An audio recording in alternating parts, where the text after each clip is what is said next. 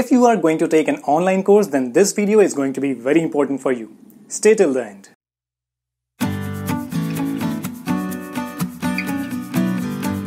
Due to the lockdown, a number of students and professionals have plenty of time and they are utilizing their time by doing some online courses, by taking some online courses, which is a wonderful thing.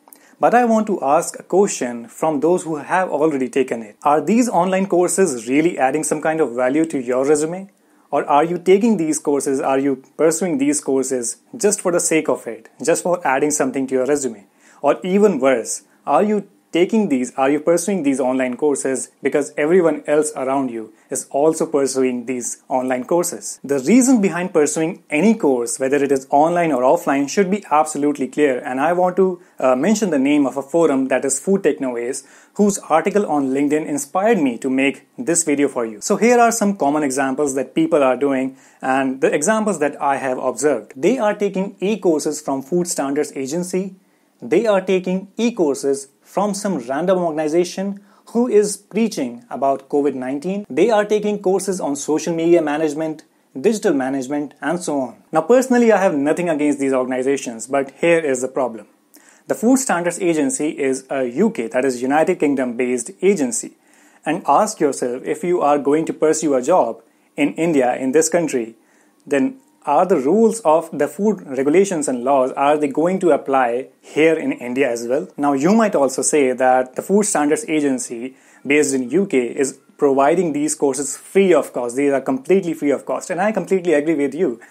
These are free of cost but that doesn't mean that the laws, the food regulations and laws that are based in UK will also apply in India. Now think deeply about it. Are you really going to take some courses just because they are free of cost and they do not apply they do not apply to the scope of indian rules and regulations. Are you really going to take it? And same principle goes for the courses such as social media marketing or digital marketing. Really ask yourself are you really going to apply digital marketing in a food industry? Now it could be possible that you are running a social media page or something like that because like for me, I am running a page on Instagram, I'm, I'm running a YouTube channel, I'm also running a LinkedIn page. So it is important for me to understand digital marketing or social media marketing. But really ask yourself, are you just doing this for the sake of adding something to your resume? Now, before you start taking any online course, ask yourself these three questions. Why am I taking this course? What is the reason behind it? Is it going to be relevant in the food industry? Am I really going to apply the knowledge from this course in my job or business? If the course is not relevant from industrial point of view or if you are not going to apply the knowledge that you have gained from the course uh, into your job or in your business, then really what is the point of taking the course in the first place? Now I know that a lot of students are actively watching my videos and they don't have any specific knowledge that how a food industry operates and what kind of course will be relevant to a specific food industry or if they even if they take an online course are they really going to apply it in the food industry? And if they don't have that knowledge i completely understand that because they they may not have taken any kind of internship or they may not have any kind of exposure to the food industry. So here are my recommendations for you. You can take the fast track training for covid-19 you can take the HACCP level 1 from Intertek, SGS or TUV. You can take any courses to improve your communication skills such as writing skills, public speaking, or presentation skills. Alright, so that's it. That's it. These are just three types of certifications, Areeb.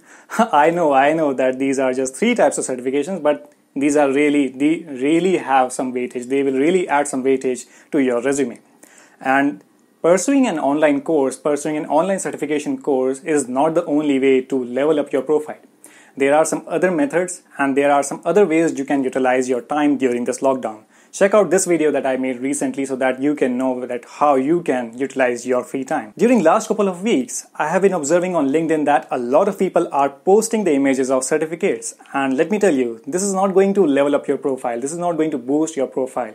So I have made a separate video that what should you do? What is the option that will actually boost your profile if you do that correctly? I will put the link down in the description so that you can check the video for yourself. I will see you next time. That's dismissed.